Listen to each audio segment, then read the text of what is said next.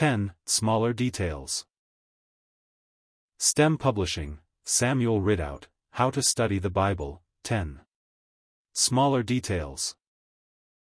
We might say we have used the telescope in sweeping over the vast epochs of God's operations. We have passed, in our thought, from the Garden of Eden into the paradise of God, from earth to heaven, from time to eternity.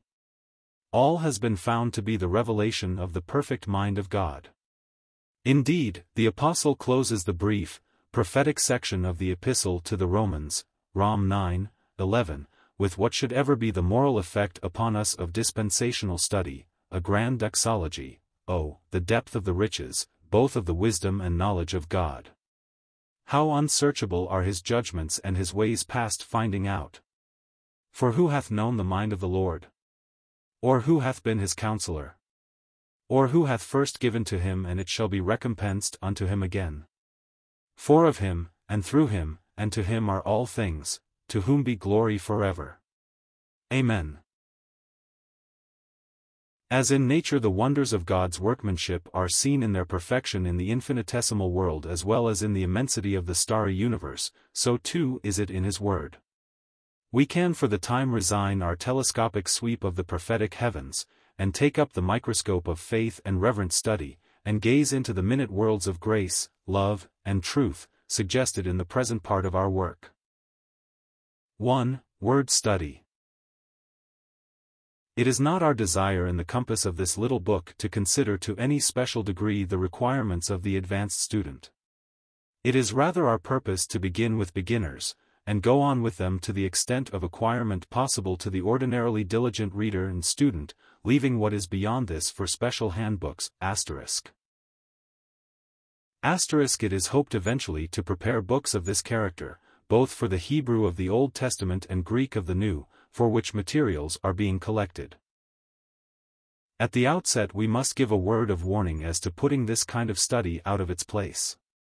While it is true that, in all labor there is profit, well-directed labor is more profitable, rightly dividing the word of truth. We think, therefore, that the place in which we have put the present chapter will indicate its relation to other subjects which have gone before. By word study, we mean the gathering together of certain words used throughout Scripture. For instance, in the chapter on topical or doctrinal study, we have seen how a doctrine can be traced from the first intimations in the Old Testament to the full display in the New. Word study is an application of this thought in one of its branches. We take up, for instance, the word blood in connection with sacrifice, suggesting at once our Lord's atoning sacrifice. With the aid of a concordance we find the first mention of the word in Exodus 12.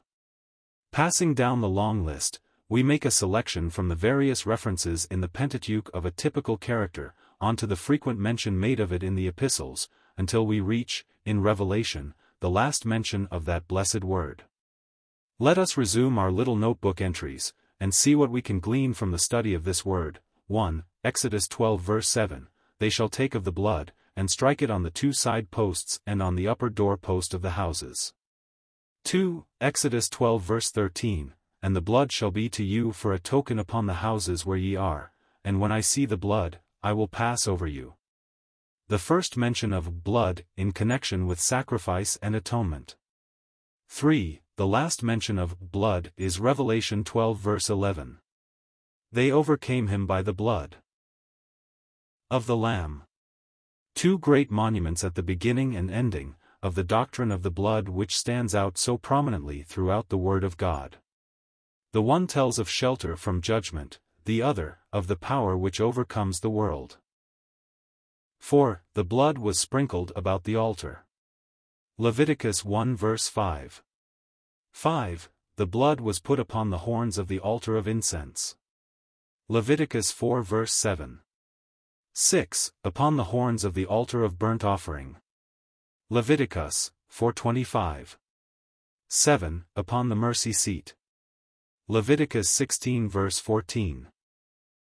These passages all teach the same precious truth of atonement by substitution and shedding of blood. Without shedding of blood is no remission. The place where the blood is put seems to suggest, in some cases, the measure of apprehension of its effects. Thus, in the case of a priest, it was put upon the altar of incense, but in the case of a ruler, upon the altar of burnt offering. When, however, God would show the perfect acceptance of his people and his thought of the blood, it was put, as in the Day of Atonement, upon the very throne of God itself. 8. John 19 verse 34, Forthwith came there out blood and water. 9. Acts 20 verse 28, The church of God which he hath purchased with his own blood. 10. Romans 3 verse 25, A propitiation through faith in his blood. The propitiation is through faith, and is in or by his blood. 11. Romans 5 verse 9, Justified by his blood.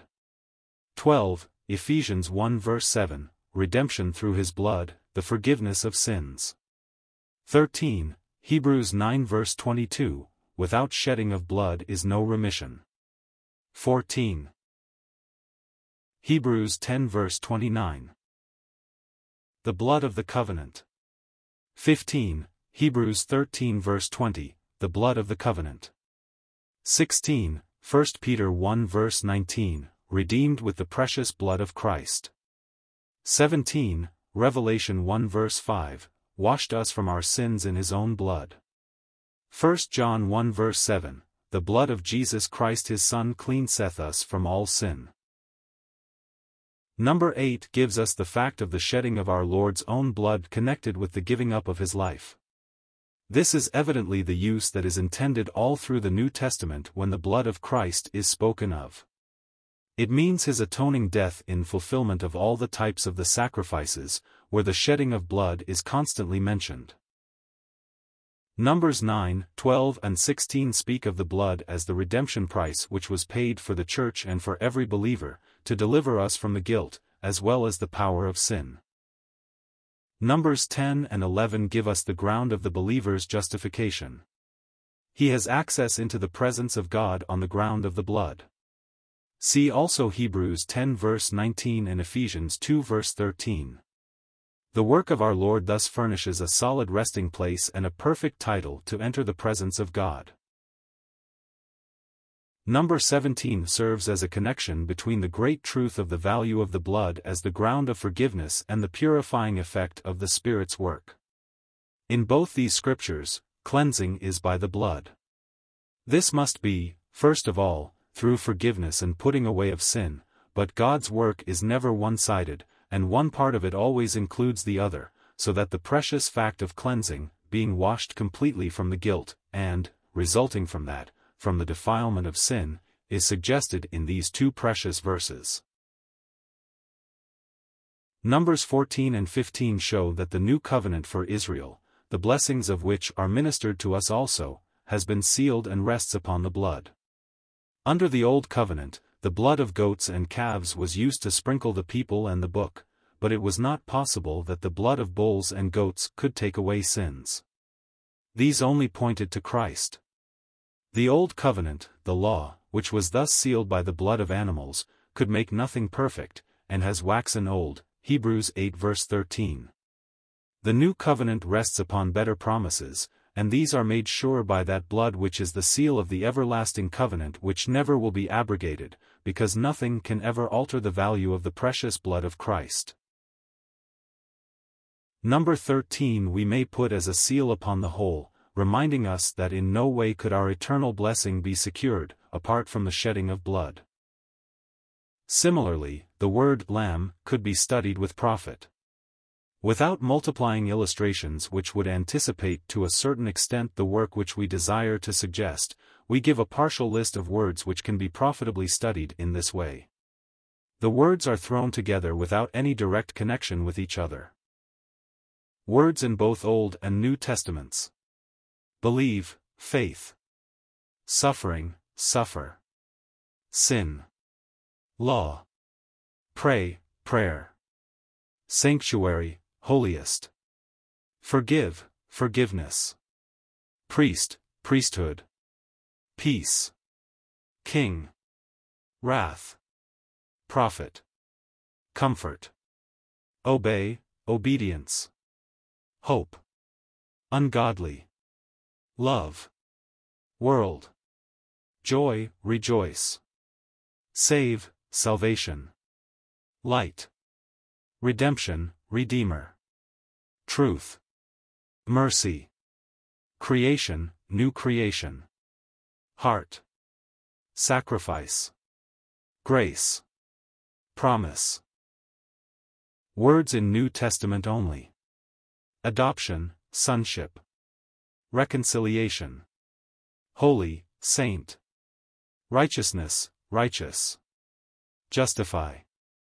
New, newness. Crucify, crucified. Raise, raised, risen. Life. Eternal. Death. Consider. Glory. Come, coming. Whosoever. All. Bless, blessing. Repent, repentance. Tempt, temptation. Works. Kingdom of heaven. Kingdom of God. But we need not multiply words. Abundance has been given from which the student can make judicious selections and prosecute a line of study which is both fascinating and profitable. Particularly is this the case when we apply the knowledge previously gained. There are several advantages and several dangers connected with this kind of study which we will point out. Among the advantages, may be mentioned, first, an increasing knowledge of Scripture truth, and an illustration of the unity of that truth underlying the entire Word of God. Second, a variety of treatments of the same subject in different portions of the Scriptures. Third, the development of the faculty of selection and grouping. Fourth, a directness and conciseness of statement helpful in analysis. Fifth, a useful help in the topical or doctrinal study previously described. Some of the dangers to be avoided are first, too slavish a following of mere verbal resemblances, and a mechanical similarity not justified by the actual or original meaning. Thus, the word for world translates two different Greek words with quite distinct meanings. We read in an ordinary concordance as follows, Matt, 1322, the care of this world. Matt, 1338, the field is the world. Matt, 1340, in the end of this world. 2 Corinthians 4 verse 4, the God of this world. Galatians 1 verse 4, this present evil world. If these words were taken as having identical meaning, we certainly would miss the thought in some of the passages. For instance, Matt, 1338, the field is the world, means the material world as inhabited by men. Matt, 1340, the end of the world is really the end of the age, the dispensation or period which is to be closed at the appearing of the Lord. Galatians 1 verse 4, this present evil world is really age, meaning the course of men away from God during the present time, and since the fall. If we did not distinguish these two words, our study would be misleading or at least confused. Very many cases of a similar character could be given. We would say in general that the remedy for blunders of this kind is to have one of the concordances referred to in our list of helpful books. Here the meaning of the original will be a safeguard from many errors into which we would otherwise naturally fall. Second, giving the identical meaning to the same word used by different writers. Inspiration has not destroyed individuality, though it makes use of it. We will find, therefore, that with certain writers there are words of frequent recurrence with a specific meaning, which perhaps in another writer has quite a different one. Thus, the very word world used in many cases, as in Matthew, Mark and Luke, for the material world, without definite, moral distinction, in the Gospel of John seems to have a moral character answering considerably to the word aion or age. John 7 verse 7, The world cannot hate you, but me it hateth. John 12 verse 31, Now is the judgment of this world. John 14 verse 17, Whom the world cannot receive. John 14 verse 30, The prince of this world. Other uses of this word in John would give us its ordinary meaning, but these have evidently a moral character which should be noted in any grouping of our word studies. The word righteousness has quite a different meaning, according to the subject spoken of. Romans 1 verse 17, the righteousness of God. Romans 9 verse 30, the righteousness which is of faith. 1 Corinthians 1 verse 30, Christ, is made unto us, righteousness. Galatians 5 verse 5, we wait for the hope of righteousness by faith. Here, righteousness is imputed and is therefore not a personal attribute, but a standing which every believer has in Christ. On the other hand, 1 John 2 verse 29, every one that doeth righteousness. 1 Peter 2 verse 24, being dead to sins should live unto righteousness, and many other passages, even in Paul's writings, speak of the practical life and personal character of the believer. The one, as can readily be seen, flows from the other but to confound them would blur the precious truth of justification by faith, and reduce to an unrecognizable mass what in Scripture is clear as noonday. 3d Ignoring the great lines of demarcation indicated in the study of dispensational truth and the characteristic epoch of each writer. Isaiah 63 verse 16, Doubtless thou art our Father. Isaiah 64 verse 8, O Lord, thou art our Father. Psalm 68 verse 5, A Father of the fatherless. John 20 verse 17, I ascend unto my Father and your Father. Romans 8 verse 15, The Spirit of adoption, whereby we cry, Abba, Father. Colossians 1 verse 12, Giving thanks unto the Father. It would be a great mistake to apply to the Old Testament passages the same meaning as to those in the New. These latter show that new and blessed relationship which has been formed by the Holy Spirit, while for Israel they were a nation of sons, that is, in the place of outward nearness to God, but this must not be confounded with the present standing of believers. This will suffice to put our readers on their guard. Many most profitable outlines for private use, Sunday school work, or gospel and other addresses can be had in this way. We reserve the discussion of the book indispensable to the use of this line of study until we come to the entire subject of helps. One general direction may be given in these word studies. Many words are of so frequent use that were we to attempt to include them all, the very abundance of the material would confuse any clearness of thought. A very good way is to copy down from our concordance those passages which strike us as furnishing added features to the general subject. We may have as many, we will say, as 12 references. These now can be classified and grouped together, forming perhaps four or five main divisions. Let us illustrate with the word peace. We select from our concordance the following list of texts, Job 22 verse 21, acquaint now thyself with him, and be at peace. Psalms 37 verse 37, the end of that man is peace. Isaiah 26 verse 3, Thou wilt keep him in perfect peace whose mind is stayed on thee. Isaiah 48 verse 18, Then had thy peace been as a river. Isaiah 48 verse 22, There is no peace, saith the Lord unto the wicked. Isaiah 53 verse 5, the chastisement of our peace was upon him. Jeremiah 6 verse 14, Peace, peace, when there is no peace. Luke 2 verse 14, On earth peace, goodwill toward men. John 14 verse 27, Peace I leave with you. Romans 3 verse 17, The way of peace have they not known. Romans 5 verse 1, Being justified by faith, we have peace with God. Ephesians 2 verse 14, He is our peace. Ephesians 2 verse 17, Came and preached peace to you which were afar off. Colossians 1 verse 20, Having made peace through the blood of his cross. In a subject like this, we could easily multiply these references from the concordance, each of which strikes us as supplying some fresh thought as to peace. We next seek to group them, giving them somewhat in their moral order. The importance of the whole subject would be suggested by the passage in Job, Job 22 verse 21, which would serve as an introduction. 1. As to the wicked, a, no peace, Isaiah 48 verse 22. B. False peace, Jeremiah 6 verse 14. C. Ignorance of true peace, Romans 3 verse 17. 2. The foundation of peace, A. Peace made, Colossians 1 verse 20. B. Peace provided, Isaiah 53 verse 5.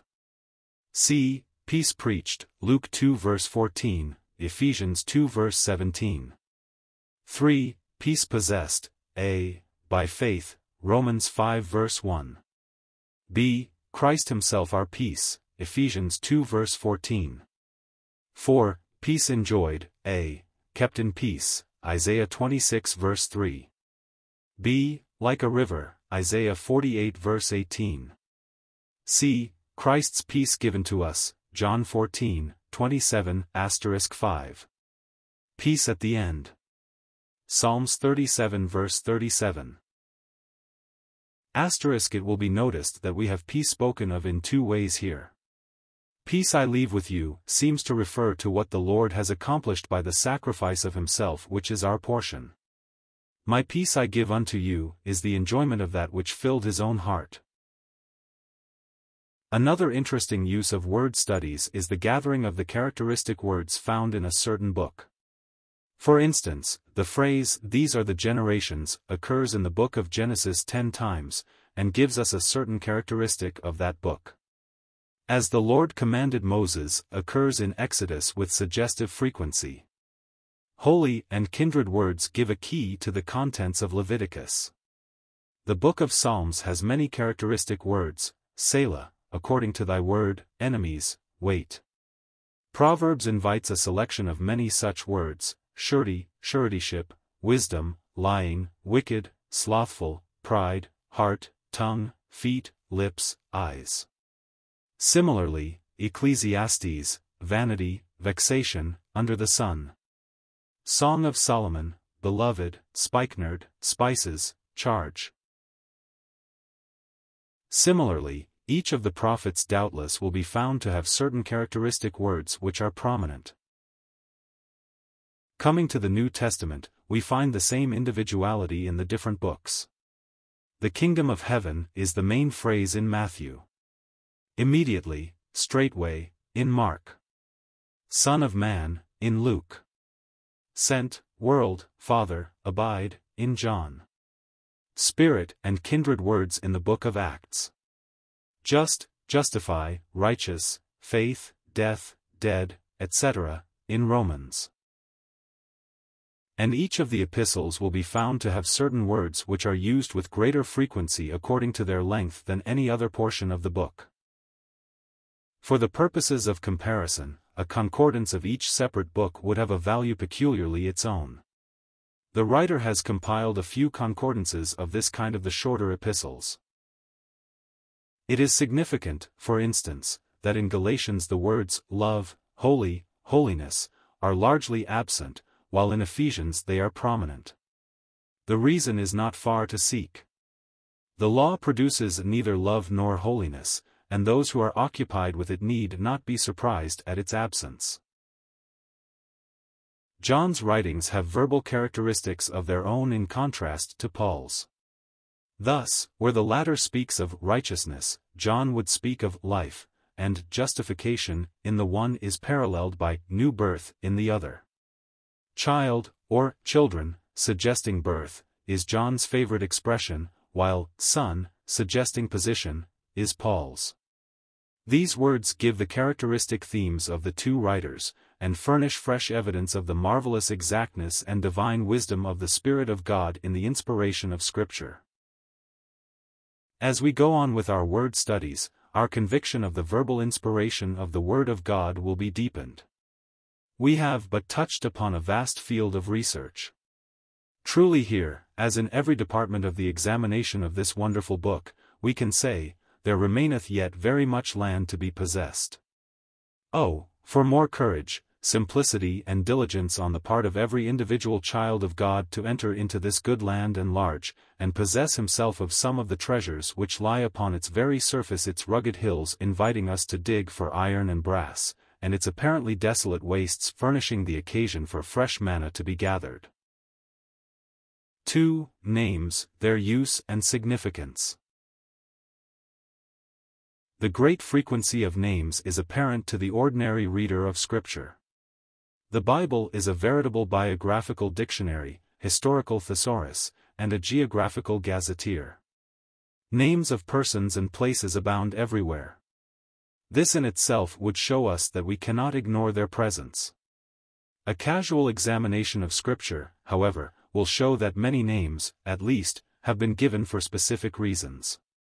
Thus, the first names, Adam and Eve, Cain, Abel, Seth, have an evidently appropriate significance. Adam is, made of the earth, as the word would suggest. Eve, living, was, the mother of all living. Cain, acquisition, speaks of the fond hope, so rudely disappointed, that he was the gotten one, the promised woman's seed. Abel speaks of the frailty and brevity of his life. Seth, appointed, of the one appointed to fill his place. Noah, comfort, answers to his name. When names have been changed, the reason has been given, a reason based upon their significance. Thus, Abram, great father, is changed to Abraham, father of a multitude, the change, as has been noted, effected by the addition of a single letter in the Hebrew, he, the fifth letter of the Hebrew alphabet, number 5 speaking, as we know, of God with man. How truly does God with man change the lonely individual into the father of a multitude. It is noteworthy that Sarai's name is changed at the same time by the addition of the same letter, exemplifying the same great truth. Isaac, laughter, recalls the laughter of both his parents in view of his birth, and suggests that joy which the coming of the true son brings. Jacob, heel catcher, was rightly so named, as his poor, hairy brother Esau declared, while Israel, a prince of God, is a new name with special significance given to him.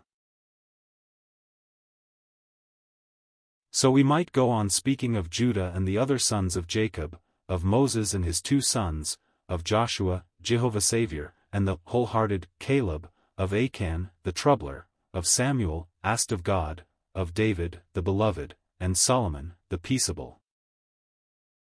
Evidently, Scripture itself gives us abundant justification of our contention that the significance of the names in the Bible is not merely of etymological interest, but furnishes at once a key to its fuller interpretation.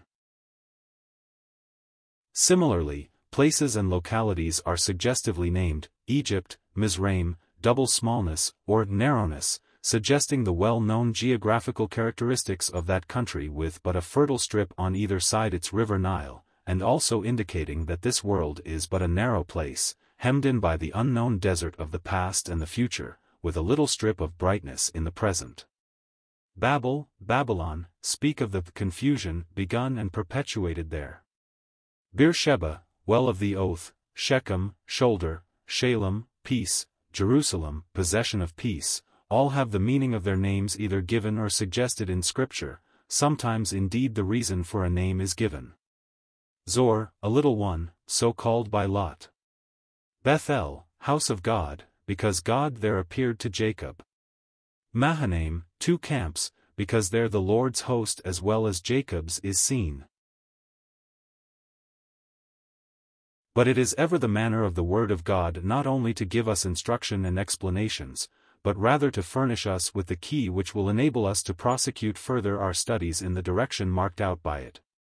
This is one of the proofs of the divine inspiration of the Word of God, one of the marks of the love and care of Him who would at once satisfy, while He awakens the hunger for knowledge in His people. We find, therefore, that our Lord in interpreting parables, gives sample explanations, and leaves the key with us to investigate further. Know ye not this parable, how then will ye know all parables?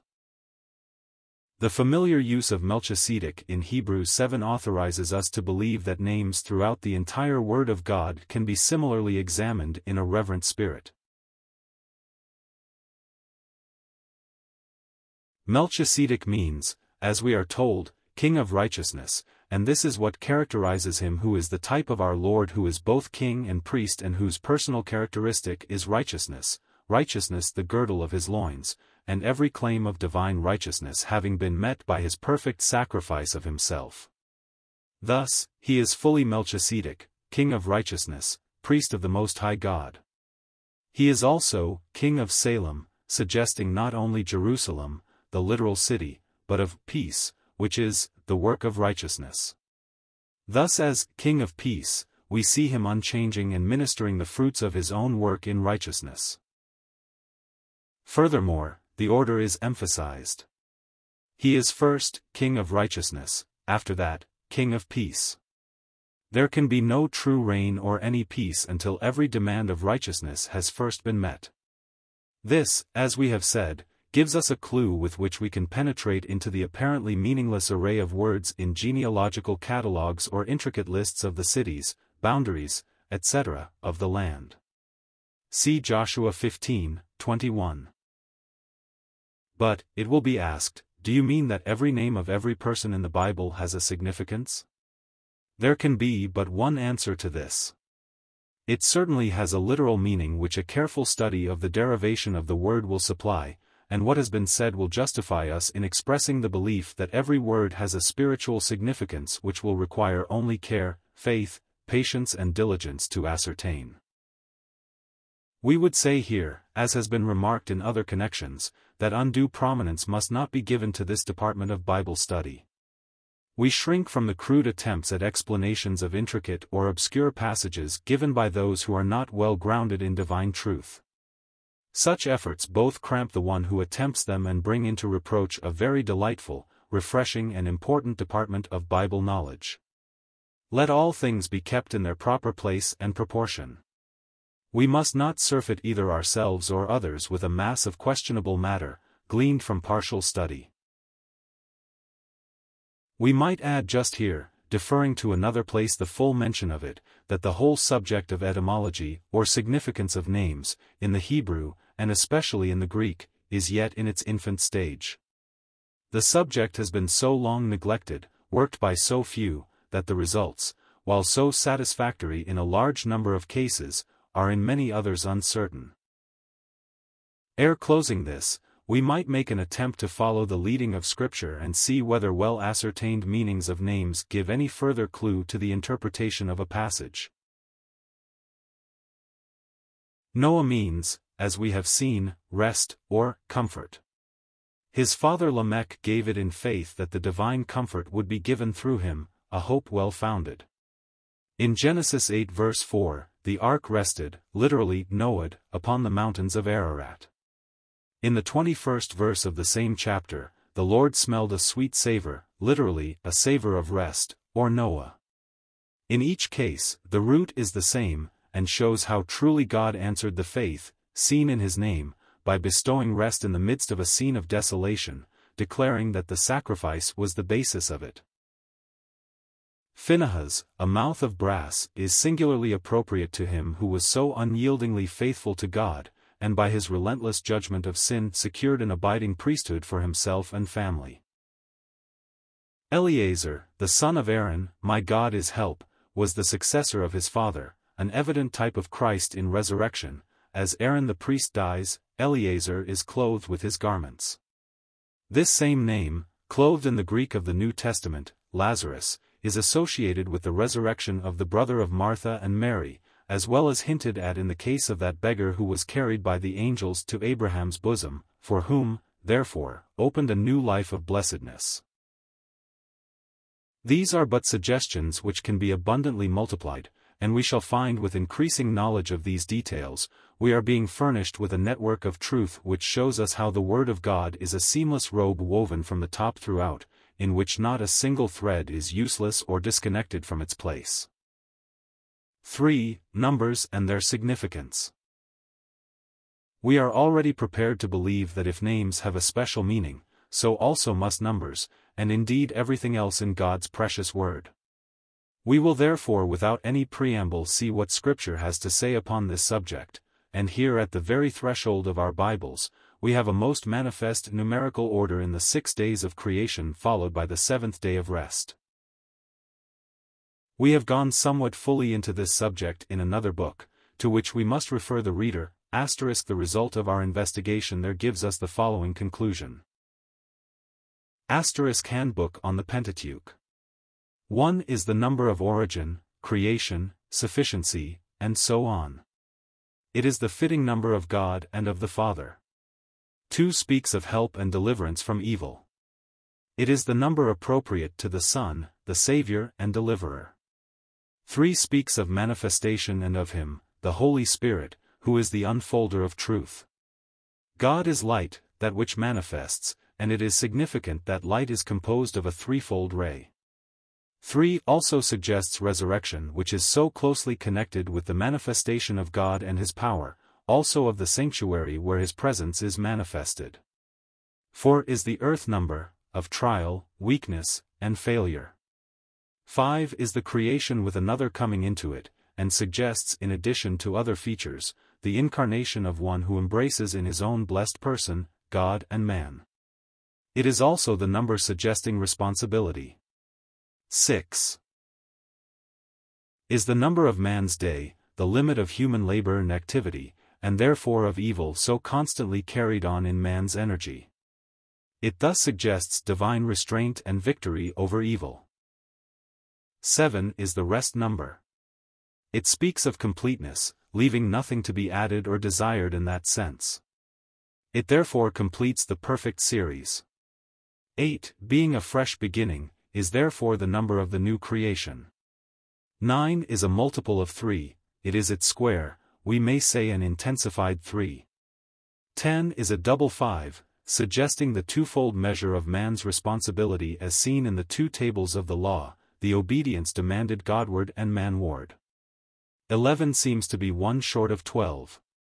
12 is the great governmental, administrative number, the 12 tribes, 12 apostles, 12 gates, etc. It is the number of Israel's unity as seen in the 12 stones set up in Jordan, and the other 12 brought up and set up in a pillar on its banks the 12 stones in the altar of Elijah, the 12 loaves of showbread, etc. Other numbers seem to be multiples, as 14 is a double 7, as though manifesting the completeness suggested by that number. Thus, our Lord's genealogy in Matthew is divided into three sets, the number of full manifestation, of 14 generations each, in which man is completely manifested and all is laid bare. It is only in the fullness of time that God thus sent forth his Son.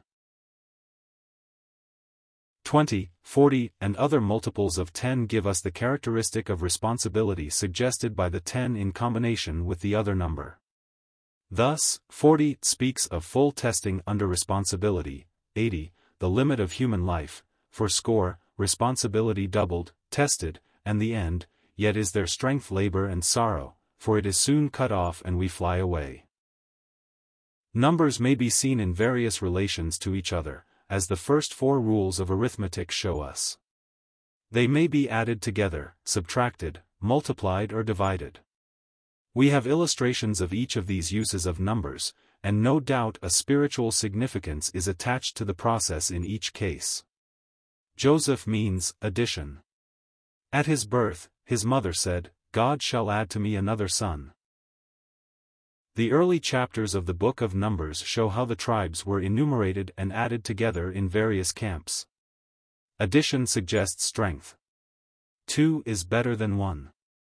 Spiritually, it suggests the help afforded by increase. All growth is addition. The Lord added to the church daily such as were being saved. Just here we may guard against the too literal use of the concordance in such a connection as this. The familiar passage in 2 Peter, add to your faith, virtue, etc., is not really addition, but, if we may speak arithmetically, multiplication. It is, have in your faith, virtue, that is, let your faith be characterized by courage, your courage by knowledge, your knowledge by self-control, etc.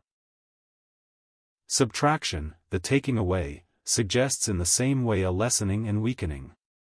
If any man shall take away from the words of the book of this prophecy, God shall take away his part out of the book of life. The value of a piece of land was calculated by the number of years to the year of Jubilee. Thus, its full value was estimated on a 50-year basis.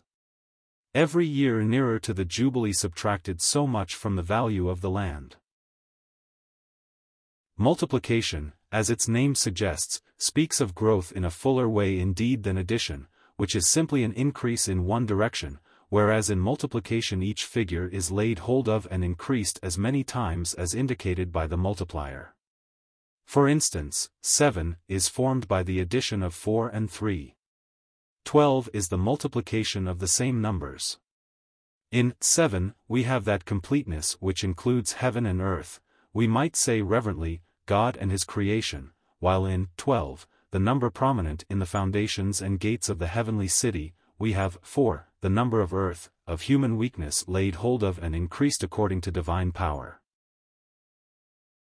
Division is the opposite of multiplication, its very name suggesting separation. We know, alas, something of this in an evil sense, and yet even here there is a good side. God has divided the inheritance amongst his people, the word for, the rivers of water, in Psalms 1 verse 3 is a derivative of the root, to divide.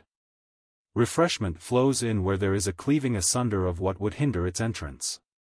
Thus the very word of God which is, quick and powerful and sharper than any two-edged sword, piercing even to the dividing asunder of soul and spirit, and of the joints and marrow, but opens the way for the stream of refreshing to enter into the inmost parts of the being.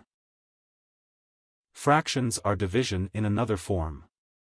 They express the relation of two numbers to each other, indicating a division. They also speak of a proportionate part of a given whole. Thus, a shekel is 20 gerahs, Exodus 30 verse 13, half of which was to be given by every man as a ransom for his soul.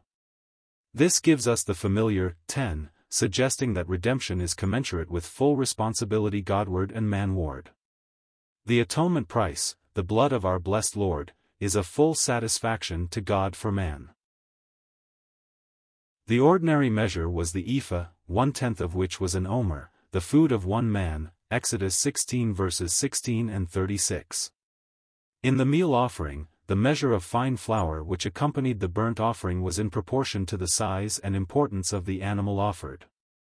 Thus, for a lamb, one-tenth deal, that is one omer was given, for a ram, two-tenths, or one-fifth, while for a bullock, three-tenths, three measures of fine flour, which speak of the fullness of Christ. The fractions, one-half, one-third, one quarter, we find in connection with the drink offerings in Numbers 28 and 29. These two were in proportion to the size of the offering, as was the meal offering.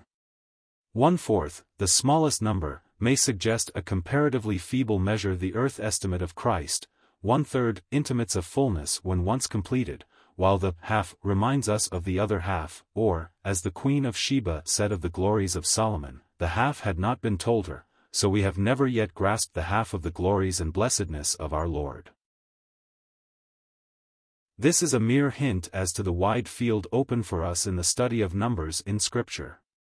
As has already been seen, when applied to the structure of the books in their groups or the subdivisions of individual ones, the numbers have a marked function in indicating the contents of the special portion to which they are attached. 4. Reference work.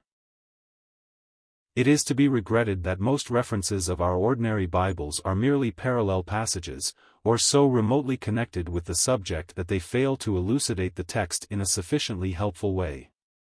This, however, should not discourage us from making use of Bible references.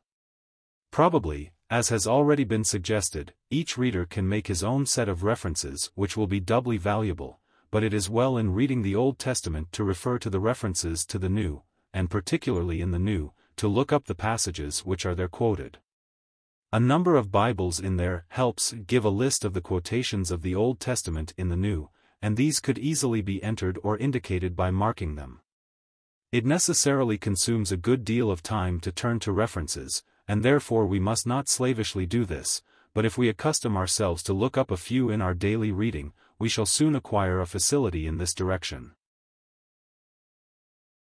5. Memorizing the list of Bible books. It may be almost out of place to speak of memorizing the books of the Old and New Testaments in the order in which we find them in our Bibles. They should be so familiar to us that we should have no more difficulty in turning to one of the minor prophets, Esther, the Epistle of Jude, etc., than to any of the rest. It is also desirable to have a general idea of the length of all the various books as indicating, not exactly their importance, but the space which they occupy. Thus, the number of chapters in Haggai or Obadiah, Amos or Micah, will supply us with little pointers as to the place they occupy. Most of these details should be taught the children at their homes. Many a happy season can be spent with them thus, and our own memories be refreshed as we hear them recite the list of the Bible books with perhaps the number of chapters in each, or engage in a competitive test in finding and reading a half-dozen references. Speaking of the children, tender memories will arise of how we have sought to make the Bible a familiar and revered book to which they could turn, even for relaxation as well as instruction. The description of some familiar scene without mentioning names, the formation of anagrams such as, God is light, by asking the names of various Bible characters. In this way, Scripture or Bible books at least become familiar to the young, and God can use these things later on. This by no means exhausts the various details and lines of Bible study which could be included under this general head. We would reiterate that God's precious word stands open for our minutest, most painstaking examination. In all labor there is profit, and much increase is by the tillage of the poor, so that we need not, because of our lack of education, want of time, habit of mind, or whatever it may be, hesitate to enter into such blessed work. The reward is great. Only let us seek to direct our activities into channels which will yield the surest and quickest results. As in our food the diet for children, the delicate or the aged, is largely confined to simple and easily assimilated articles, leaving other things, however palatable and useful in their places, to those of stronger digestion, so it is in the spiritual realm.